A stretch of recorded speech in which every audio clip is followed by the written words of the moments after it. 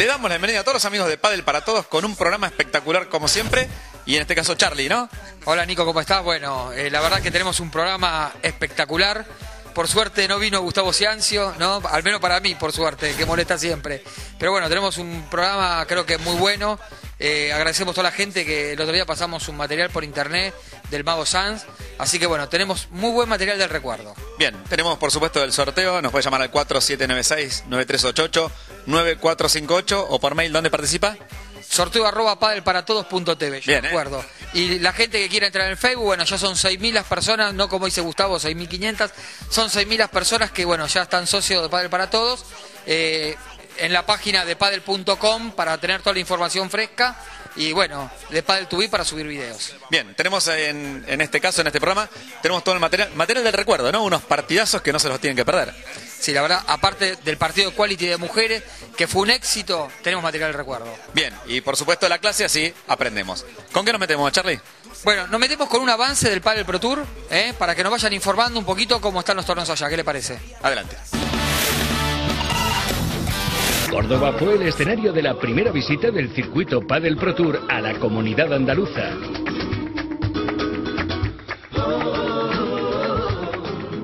Club Sierra Morena acogió un año más los Internacionales de Córdoba 2016. Seba Nerone y Cristian Gutiérrez cayeron ante Guillermo de Mianuc y Matías Nicoletti, al tiempo que Gastón Malacalza y Gerardo Derito eliminaron también en 16avos de final a Marcelo Jardín y Willy Laoz. Las dos parejas llegaban con un claro objetivo, colarse por primera vez en unas semifinales. Y quienes lo consiguieron fueron Fernando Poggi y Sancho Gutiérrez, tras derrotar por 6-3 y 6-4 a Guillermo de Mianuc y Matías Nicoletti, que disputaban su último torneo como pareja. Lamentablemente el viento fue el protagonista, dificultando mucho el juego y motivando la consecución de errores no forzados. Auguste Reca contra Lima Mieres. Puntos importantísimos en juego de cara al ranking. Un partido en el que Pablo Lima y Juan Mieres volvieron a desplegar su mejor juego a una velocidad de vértigo, presionando constantemente y quitándose de encima a estos duros rivales. El primer set fue igualado hasta el 2-2, porque de ahí en adelante el dominio de los príncipes fue abrumador. Con mayor facilidad de lo previsto, resolvieron su duelo los números uno ante los campeones de Madrid, Agustín Gómez Silingo y Maxi Graviel. Juan Martín Díaz y Fernando Velasteguín jugaron un partido casi perfecto y consiguieron una contundente victoria por 6-2 y 6-1. En el encuentro que cerró la jornada de cuartos en tierras cordobesas, Miguel Lamperti y Matías Díaz destrozaron por 6-2 y 6-1 a Gastón Malacalza y Gerardo Derito. Un partido que no tuvo color y que Lamperti y Díaz cerraron en un abrir y cerrar de ojos. Juan y Mieres y Pablo Lima volvieron a demostrar su poderío y en poco más de una hora eliminaron a Fernando Poggi y Sancho Gutiérrez por 6-2 y 6-1. Igualmente el resultado no refleja lo ocurrido en la pista. Al ver este marcador se puede pensar que los príncipes arrollaron a sus rivales, pero nada más lejos de la realidad. Fue un partido con puntos muy igualados, con diuses y ventajas en cada juego, donde la única diferencia estuvo en el mayor acierto de Lima Mieres a la hora de la definición. Poggi y Gutiérrez plantaron una dura batalla, pero fallaron en los momentos decisivos cuando había que cerrar los juegos.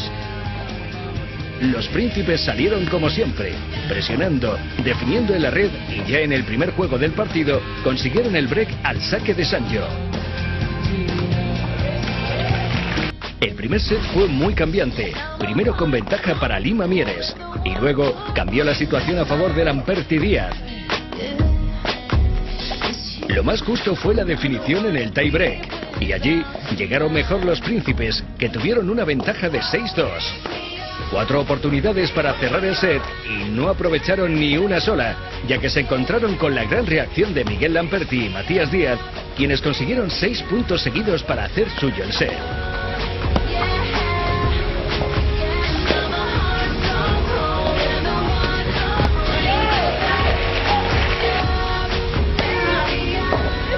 Una celebrada victoria por la importancia que este segundo título de la temporada tenía de cara al ranking Padel Pro Tour. El partido empezó muy, muy parejo, nosotros quebramos al principio, nos quebraban de vuelta, estamos ganando 5-4 ellos, hemos remontado, llegamos al tiebreak creo que ganamos 6-2 y perdimos 8-6. Ahí se complicó un poco porque nos venimos un poco abajo y creo que en el segundo game del segundo set íbamos 0-40. Creo que ahí fue una de las claves del partido. Arnaldo, calidad y precio en Munro.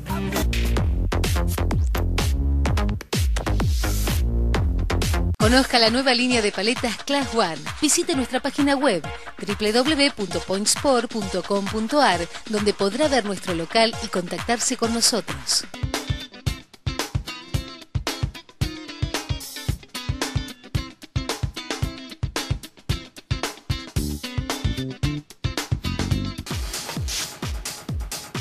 Seguimos en Padre para Todos, tenemos mujeres. Mujeres, la verdad que bueno, un agradecimiento a la gente de la CP que, que hace posible que el torneo de damas esté presente eh, y que las chicas pueden jugar. Una felicitación a Mariano Rincón, que bueno, que la verdad que fue un éxito, ¿no? Sí, hay que aclarar que bueno, estos campeonatos, eh, la asociación de profesionales con la CP se juntaron y bueno, esto es histórico porque 34 parejas anotadas en torneo femenino. Esto es espectacular y bueno, hace que todas las mujeres se sigan anotando y siga creciendo el deporte femenino que también nos hace, ¿no? Sí, la verdad que bueno, que no dejen de participar, que, que está muy bueno. Y bueno, la verdad, felicitaciones primero a los que trabajan eh, para que el pádel femenino vaya adelante. Bien, en este caso tenemos la final de lo que fue este campeonato jugado en Quality apenas hace unos días. De un lado estaba eh, Niela, ¿sí? con su compañera Peiregne, y casi un clásico, Soya y Armesto del otro lado, ¿no? Dale, vamos, lo vemos. Estamos viendo imágenes de lo que fue el partido final, campeonato femenino jugado en Quality. Tenemos a las jugadoras Daniela Niela de Córdoba y su compañera Mariela Peiregne de la Ciudad de La Plata. Y del otro lado, Valeria Soya y su compañera Paola Armesto. Bueno, este es un clásico que se viene dando ya hace varios meses. En este caso, bueno, Soya enfrentando a esta pareja que, bueno, en la actualidad siempre viene ocupando los mejores lugares del ranking. En este caso vamos a ver unas características de juego eh, por el lado de, de Peiregne. Bueno, es una jugadora muy ordenada. Sí, es una jugadora que estamos viendo acá, cómo se dedica prácticamente a organizar todo el punto. Y del lado de la derecha su compañera, que bueno, acelera muchísimo la pelota, juega puntos ganadores. No es habitual en los jugadores y jugadoras del lado de la derecha. Pero bueno, acá la que organiza el juego generalmente es Mariela Peiregna. Ella, bueno, arma los puntos para que la compañera en algunos casos, bueno, intente con una definición del lado de la derecha que decíamos que no es tan frecuente, pero bueno, en este caso, en esta pareja lo hacen de esa manera. Por el lado de Armesto Soya, bueno, es una pareja que ya hemos visto en varias ocasiones.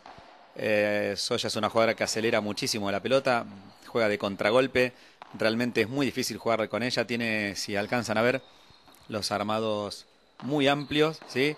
Tiene una aceleración increíble y bueno, jugando ahí en mitad de cancha es bastante complicada porque toma la pelota alta, la sabe bajar firme por el centro de la cancha y también en algunos momentos se juega la pelota a ciertos lados, digamos, más, más complicados, sin embargo, ella tiene muy buen porcentaje de efectividad. Su compañera Armesto, bueno, todos saben cómo es una jugadora que eh, está muy ordenada en el juego, tiene muchísima experiencia y estamos viendo acá un partido realmente muy, muy bueno. Bueno, como decíamos, este es un campeonato que se desarrolló primero por zonas, 34 parejas, esto es un éxito importantísimo.